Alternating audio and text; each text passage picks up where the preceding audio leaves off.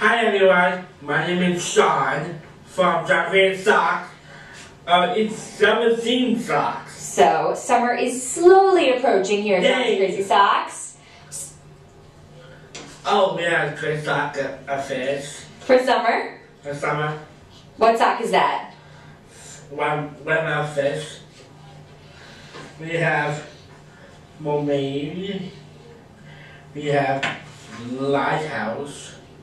We have mm, uh, Nautical icons. icons and caterpillars. We have mermaid.